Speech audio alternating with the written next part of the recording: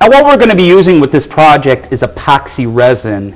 And that leads us to our next expert guest, who we have the thrill of having on today with us is JB Currell. And JB is the owner of MAS Epoxy, very big name in the marine industry in epoxies. And JB, let's talk a little bit about why we're using epoxy resin here to build up this area of the transom rather than traditional polyester resin. That, that's what Bertram used back in 1966 when they were first building the boat. You're right. Uh, the boat was built out of polyester, and polyester is a great resin to build the boat out of.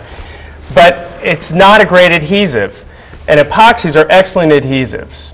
Uh, epoxies have a bond strength of about 2,000 psi, where a polyester, if you were trying to glue this on here, might have a bond strength of 300 psi. Okay, now I want to show everybody what I'm doing here.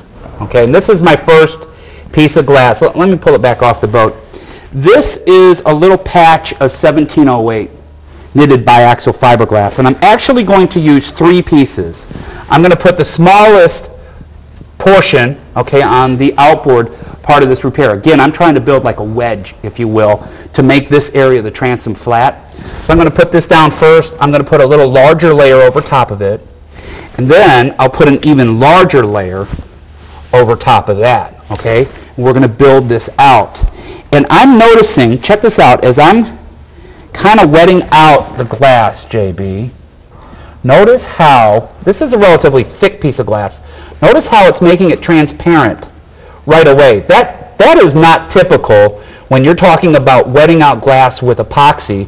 Why is your resin doing this? Why, why, why is this so easy to work with? Well, John, today we're working with our low viscosity resin, and the low viscosity resin isn't just thinner than most epoxy resin systems. We also use what are called air release agents or surfactants in the system to lower the surface tension so it wants to wick through the fibers and wet out the glass, lower the air entrapment. Okay, now what is going on with epoxies? You usually have something called an amine blush what is amine blush? Amine blush is from the hardeners and it's reacting with moisture in the air and leaving a film on the surface. Can look like suntan lotion on the surface when it cures up. Okay, and what's, what's the downside to amine blush? Well, it can act as almost a, a, release agent. It's a contaminant. You have to remove it. How do you remove it? Well, the way to remove it is by using a Scotch-Brite pad and just some warm water, actually. Um, you don't really need to use a amine blush. Um, How'd you work that out? Well, my partner Tony, who designed the system, uh, worked out eliminating the amine blush uh, almost 15 years ago when we started our company.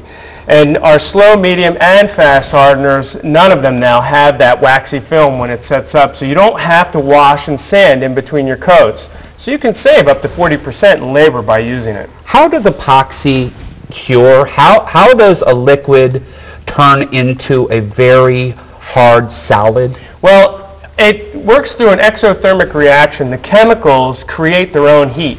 Right. And that's how it cures. Now, with the, your resin, are you limited by how many layers? I mean, you know, if you if you have multiple layers, there's going to be more heat.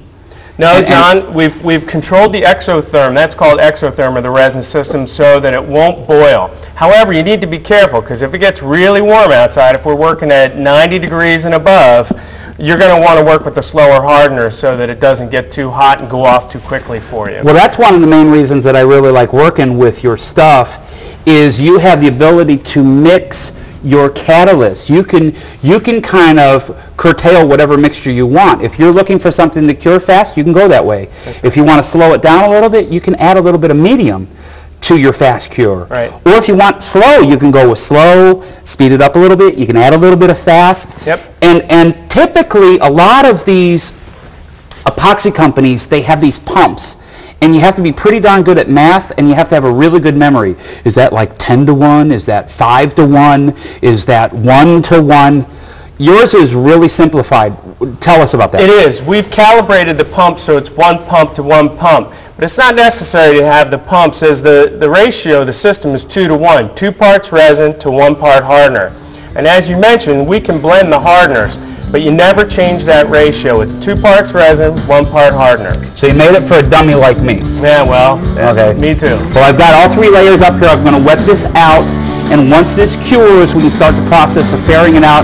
But right now, what we need to do is thank JB, thank you, man. You're welcome. And we need to hear another timeout from the people who make this show possible.